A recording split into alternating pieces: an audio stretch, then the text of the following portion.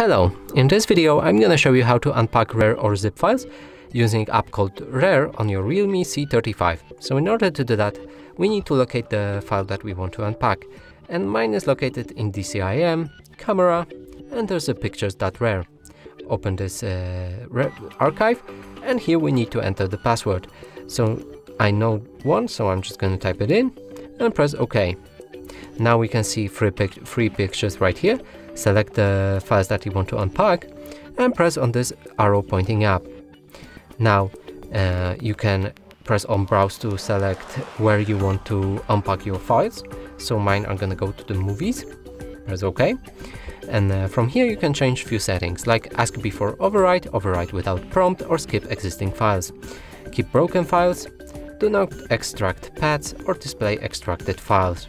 Press OK when uh, all the settings are changed and we can we already unpacked the files. So let's go to the movies and here are three uh, pictures that I just unpacked. And that's it for this video, hope you like it, please consider subscribing to our channel, leave a like and a comment below.